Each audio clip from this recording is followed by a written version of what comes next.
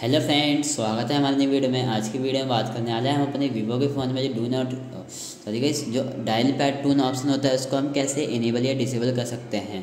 तो ये dial pad tone option को इनेबल या डिसेबल करने से पहले आप हमारे वीडियो को लाइक और चैनल को सब्सक्राइब और बेल आइकन को दबाना ना भूलें गाइस तो वीडियो सिंपली हम शुरू कर देते हैं।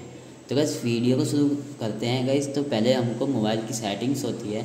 उसको हमें ओपन करना है। तो कैसे हमारा मोबाइल सेटिंग ऑप्शन है, इसको हम क्लिक करते हैं।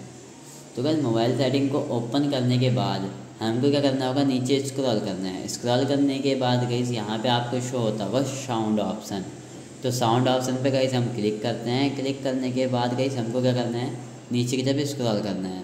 तो स्क्रॉल करेंगे स्क्रॉल करने के बाद गई आपका ऐसा इंटरफेस शो होता होगा। तो गैस यहीं पे आपको first option dial pad tone का शो होगा अदर एंड वाइब्रेशन ऑप्शन है गाइस तो यहाँ पे आपको dial pad tone option simply यहाँ पे शो हो जाएगा। तो गैस हमको क्या करना है सिंपली यहाँ से आप इसको डायल पैड टून को इनेबल कर सकते हैं यहाँ से। तो गैस ये देखिए इनेबल भी हो चुका है और गैस अगर आपको इसे डिसेबल करना है तो डिसेबल करने के लिए यहीं पर आप क्लिक कर दोगे तो हमारा डिसेबल भी हो जाएगा।